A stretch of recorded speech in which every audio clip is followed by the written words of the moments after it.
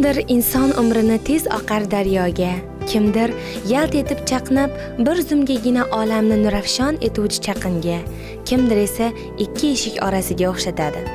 Ha har qancha totli bo'lsa-da umr o'lchovli vaqtni esa to'xtatib bo'lmaydi. Faqat fasllargina navbatma navbat olam ranglarini o'zgartirib umrning har dami g'animat ekanligini eslatib turadi go'yo. Umrining 60 yillik dovonida turib o'tgan kunlariga nazar tashlar ekan tumanimizning xolimbek ovulida istiqomat qiluvchi yo'ldosh aka matnazarovning ko'ngli faxrga iftixorga to'ldi. Mamlakatimizning turli hududlarida yashaydigan farzandlari yaqin qarindoshlari ushbu sanani birga nishonlash uchun birin ketin kirib kelganlarida quvonchlariga olam torlik qilayotganday bo'ldi go'yo. Axir quvonmasinmi? Turmushning ne bir zahmatlarini chekib o'g'illarini qizini o'qitdi ilmli qildi uyli joyli qildi. Halol mehnatlaridan bo'y tiklagan obod xonadoni nevaralarning sho'x shovqin suvroniga to'ldi. Bunday saodatli kunlarni qanchalar orzu qilgan edi u? Shunday kunlar umidida tonglarni tunlarga ulab mehnat qilgan edi.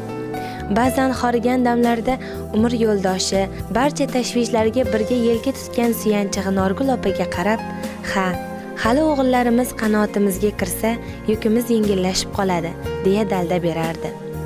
Bir ovulda tug'ilib o'sib bir maktabda bir sinfda o'qib bir biriga ko'ngil qo'yib oila qurgan ayoli norgul yo'ldosheva hech qachon bolalar tashvishidan nolimadi mehnatdan qochmadi. Yo'ldosh akani xayollari olis bolalik yillariga yetaklaydi. Ko'z o'ngida ota onasi bag'rida kechgan damlari jonlanadi. Uning otasi qo'chqor matnazarovning otalari xolimbek ovulining turkmaniston bilan chegaradosh hududida o'tirimli yashab qirqta xonadan iborat hovlisi yer suviga ega bo'lib asosan dehqonchilik chorvachilik bilan shug'ullanishgan xizmatkorlari ham bo'lgan ekan. O'sha davr siyosatiga ko'ra quloq qilinib mol mulk tortib olinib o'zlari dom daraksiz ketgach keyingi avlodlari turmush qiyinchiliklar bilan kechgan. bir ming to'qqiz yuz o'n uchinchi yilda tug'ilgan otasi qo'chqor matnazarov yetti yoshida onasidan o'n to'rt yoshida otasidan ayrilib yigirma sakkiz yoshigacha har qarindoshlarnikida yashab kelgan. Qiyinchilik bilan boshlang'ich ta'limni olgan. Zehni o'tkirligi bois kolxoz podasini boqib yurib orazgeldi ismli turkman oshnasidan diniy bilimlarni o'rganadi. Adabiyotlarni o'qiydi. Savodi tobora sayqallashadi. Podani ko'z qorachig'iday asrab parvarishlab boqqani uchun kolxoz raisi uni ikkinchi jahon urushi davrida frontga yubormay olib qolgan ekan. Vaqt kelib u hojibika ismli qizga uylangan. Afsuski ayoli ikki qizni dunyoga keltirib vafot etgan. Qo'chqor matnazarov oradan yillar o'tib shu yerlik haytkul ismli ayolga uylangan. bir ming to'qqiz yuz ellik to'qqizinchi yil o'n to'qqizinchi oktyabrda undan chiroqboni hayotining davomchisi yo'ldosh dunyoga kelgan. Uning bolaligi ham qiyinchilikda o'tdi. Oradan yillar o'tib qahramonimiz ham voyaga yetdi. Uylanib oilali bo'ldi. U dastlab sobiq maksim gorkiy nomli sovxozda sport yo'riqchisi bo'lib ayoli esa bolalar bog'chasida ishladi. Keyinchalik xolimbek ovul fuqarolar yig'inida harbiy hisob bo'limi boshlig'i ayoli norguloy esa o'ttiz beshinchi maktabda psixolog bo'lib ishladi. Shundoqqina hovlisi yonida ikki yarim gektarlik yerini ijaraga olib bog' barpo etishdi. Bog'dan tomorqasidan turli meva sabzavotlar yetishtirib oilasidan ortganini bozorga sotishdi. Daromadi hisobiga mashina sotib olishdi. Avval to'ng'ich o'g'il xudoyberganni keyin birin ketin xayrulla muhiddin va oilaning kenjatoy farzandi nargizani oliygohlarning avval bakalavr keyin esa magistratura bosqichlarida o'qitishdi. Hozirgi kunda xudoybergan o'ttiz beshinchi sonli maktab direktori o'rinbosari xayrullo o'zbekiston jismoniy tarbiya va sport universitetida o'qituvchi suv sporti va eshkak eshish kafedrasi mudiri muhiddin injener geolog nargiza esa o'zbekiston xalq ta'lim vazirligi huzuridagi filologiyaga ixtisoslashtirilgan maxsus maktabda o'qituvchi. Hozir ularning barchasi uyli joyli oilali bo'lib o'zlaridan tinib tinchib ketishdi. Mana bugun otamizning oltmish yillik yubileyini nishonladik. Shu oltmish yil aytishga ansat lekin ancha yil bu. Xudoga shukur mana bizlarni o'qitib katta qilib kamolga yetkazib yemasada ichmasada kiymasada shu bizlarni o'qitishning harakatida bo'ldi, o'qitdi. Mana Xudoga shukr hammamiz o'qib, oliy ma'lumotli bo'lib, o'rinlarimizni topib, asdan hayotimizni davom ettirib yuribmiz. Bir donishmand aytadi, ota o'g'lindan so'rabdi. O'g'lim, sen kuchliman menmi? O'g'il javob beribdi, albatta men kuchliman otajon. Ota xafa bo'lib, sal oldiroq ketib, mening o'g'lim bunday fikrlashi mumkin emas edi, balkim fikridan qaytar deb savolni qaytaribdi. O'g'lim, sen kuchliman menmi? Albatta siz kuchli otajon. Bir minut oldin fikring boshqacha edi o'g'lim. Nega bunday qarorga keldingiz? Sababi bir minut oldin siz yonimda edingiz degan ekan. Shunday otamiz, opamiz yonida bo'lsa biz kuchlimiz.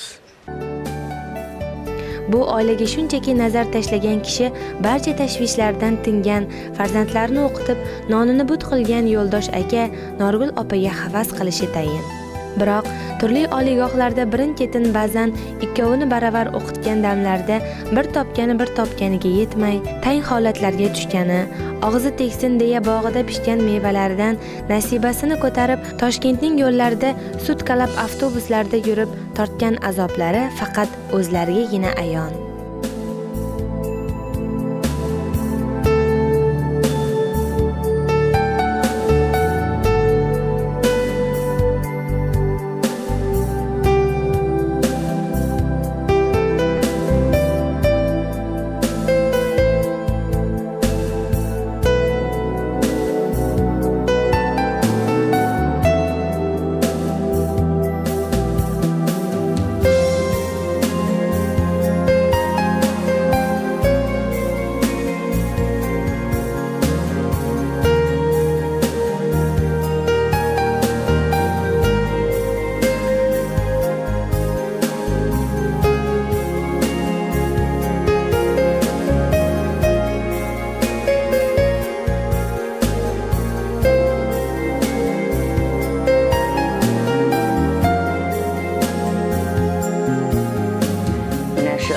атадан қалған өргенай әдігәрлігіміз 60 жасқа шығып бағаларды ұқтып, қиыншылықтарына шы дәрежеге жетішіп 60 яшқа шығып атыр екен Мұны келініміз наргүлай түйін тиін қартайышып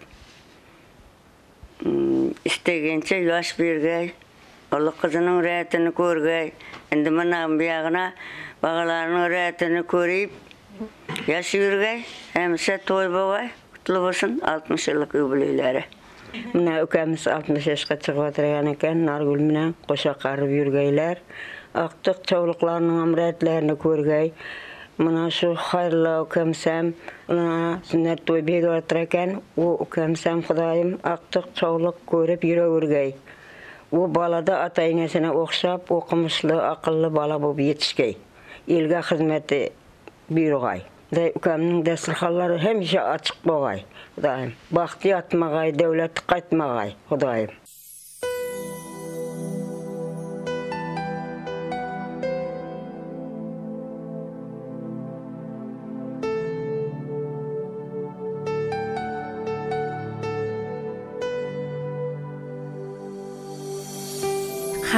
Yo'ldosh aka norgul opalar ana shunday mashaqqatlar evaziga ularni kamolga yetkazdi. Shunda ham hozirgi kunda bir zum tinib bamayli xotir o'tirishni o'zlariga ep ko'rishmaydi. Tomorqa yer bog' nevaralar tarbiyasi ularning kundalik hech zerikmaydigan birovga ishonmaydigan yumushlari. Natijada turmushlari farovon ertangi kundan ko'ngillari to'q. Yaqinda ularning xonadoni yana mehmonlar bilan to'ldi. Yo'ldosh aka va norgul opalar tabarruk 60 yoshni qarshi olishlari munosabati bilan yaqinlari qadrdonlari do'stu birodarlari qutlagani kelishib quvonchli kunida ular bilan birga bo'lishdi. Otamning chirog'ini yoqib xonadonni obod etib o'tirgan ukajonim borligiga doim shukr qilaman. Qachon kelmaylik eshigi ham ko'ngli ham ochiq. Yo'ldoshboy ukam kelinim bilan qo'sha qarib uzoq yashasin deydi opasi qizlargul momo tug'ilgan kun bahonasida xonadonda haqiqiy shodlik hukmron bo'ldi. Baxtli saodatli umr kechirib uch o'g'il bir qizni elga qo'shgan uch kelinga ham ota sakkiz nafar nevaralarga bobo bo'lgan mehr oqibati bilan yaqinlarning ham ko'nglidan joy olgan yo'ldosh matnazarovning oltmish yoshga to'lishi va ilk o'g'il nevara xayrulloning farzandining sunnat to'yini ulkan xursandchilik bilan nishonlashdi.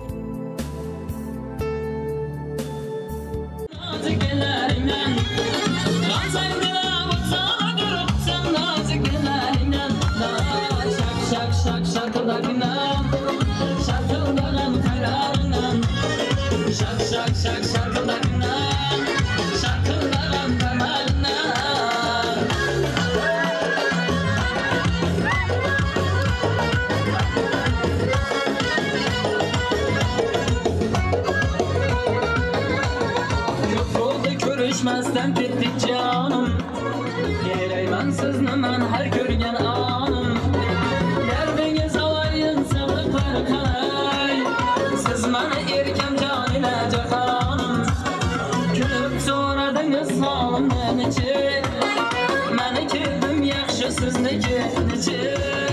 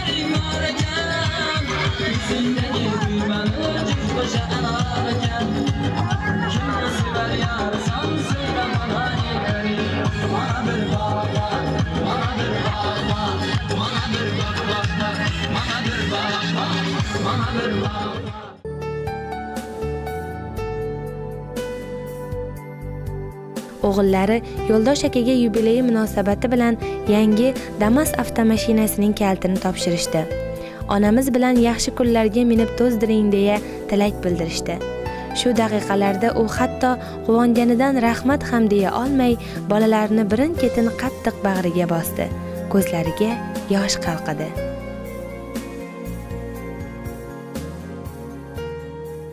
Mənə 60-cıqa çıxıb təbriklər. Көп dostlarım, qardaşlarım, ağalı görəyə dostlarım gəldi. Həməsinə rəhmət təbriklər deyəndə. Deyirəm ki, həmmələrin günə yaxşı günlərinə varayım bir deyik. Mənə bir 60 illik yubileyimə dama savğa qıldı. Mağarama da rəhmət bərinə. Şu, heç həmmə eldaşlarıma şu, şunday yaxşı yerlər diləyim mən, ezgürlüklərdir. Katta oğlum pedagogika üniversitesini bitirdi. Çot boyunca çot dedi. Çakırkaça yaşlarını tayarlaş. Kollejde işledi. Hazır mektepte zavuç bu işlevatır. İkinci oğlum Özbekistan Devlet Cismani Terbiye Enstitüsü'nde işledi. Kafedra müdürü olup. Üçüncü oğlum injener geolog, начальник stansiya, stansiya başlığı. Kızım mektepte işledi. İş kılıp kıynalsam bärini okutup oyoqqa turg'izdim. Ishli bo'ldi hammasi. Hammasi ilden xizmatida o'zim ham kolxozda ishladim Sport instruktor bo'lib ishladim tabelchi brigad, brigadir bo'lib ishladim. So'ng 13 uch yil işledim. ishladim. Harbiy hisob yuritish xodimi bo'lib.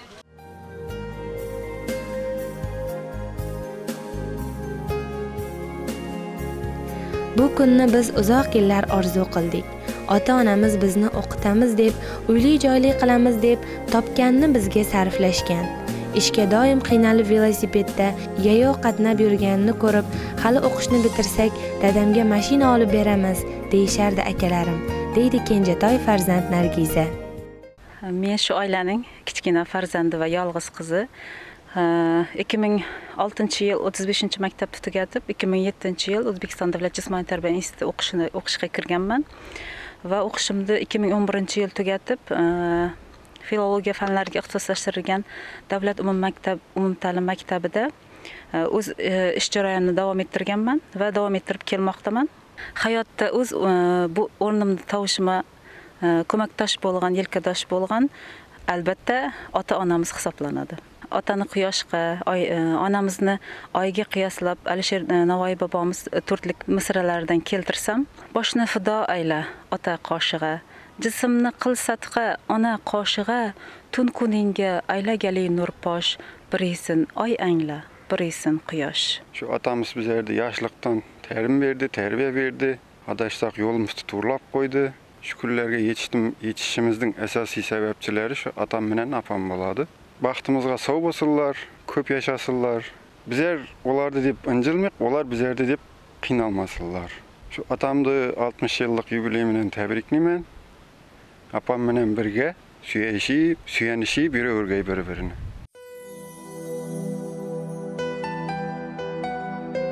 bizning eng ulkan boyligimiz sizlarsiz. Ilohim yomonligingizni ko'rmaylik doim sog' omon bo'ling deydi ota ularni quchib.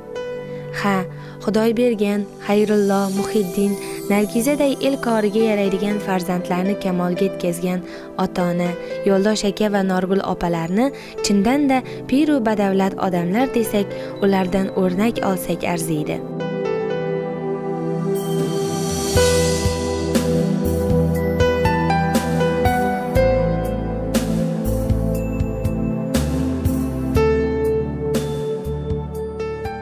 Э, biz oilada uch o'g'il bir qizmiz э, men o'zim o'rtanchi farzandman.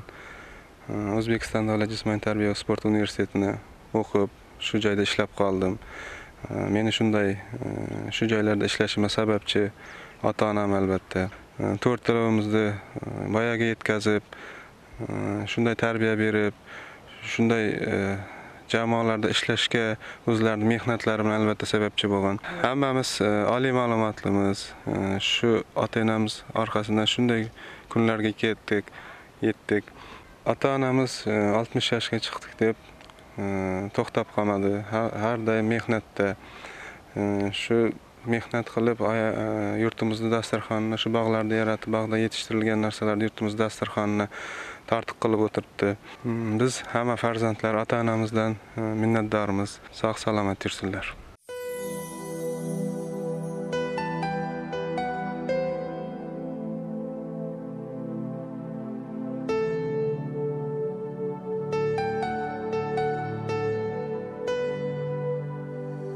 Xonadon egalari bilan xayrlashar ekanmiz. Yo'ldosh aka va norgul opalarga uzoq umr oilasiga esa tinchlik totuvlik tiladik. Zero totuvlik bor joyda hamisha qut baraka bo'ladi.